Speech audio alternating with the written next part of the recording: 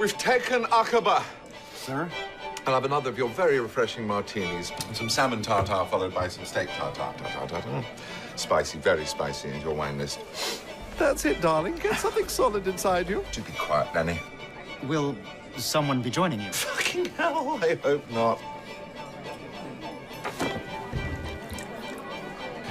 Only the best will go without. See, that still works. Everything's under control. Very good. Thank you. But it's not heroin. Shh.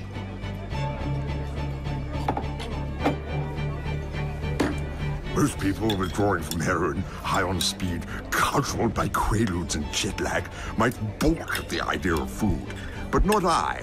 I eat not from greed, but from passion. Do shut up, will you? Not you, someone else.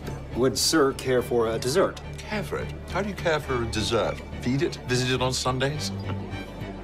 I'll have a creme brulee and a marc de Bourgogne. But it's still not heroin, is it? Heroin's the cavalry, the missing chair leg. Heroin is love. Simply call 555 1726. up!